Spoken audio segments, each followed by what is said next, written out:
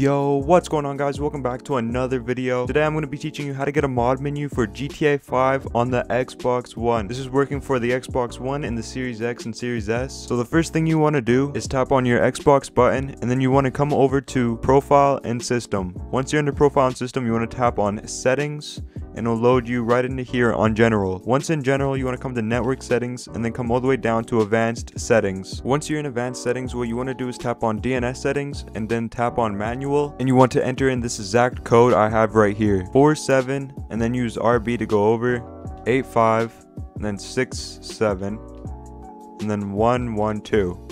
Enter it in exactly like this and once you have it in like that, all you want to do is just press enter on that. For the secondary, you want to do 8, then RB, then 8, then RB, 4, 4 exactly like that. And once you have everything like this you should be good. Just enter that all in and it should look like this. Ignore the QoS tagging settings. That's my own problem. But from here what you want to do is tap on your Xbox button come down to GTA 5 and just load into it. I'll meet you in the game when I have the menu. Alright, as you can see here, I just loaded into story mode. All you gotta do to open up this menu is press RB and A at the same time and just like this. As you can see, I have the menu open. You can do a lot of things with this menu such as like God mode or night vision. You can have no ragdoll on. You can have basically anything. As you can see, infinite ammo, so all I gotta do is just pull up my gun and I have infinite ammo. Or with the God mode, as you can see right here, I do not take any damage. You have all these tunables here, so like no orbital and all that crazy crap. You have all the unlocks, so you can unlock everything in the game. Online services, you can do this for all online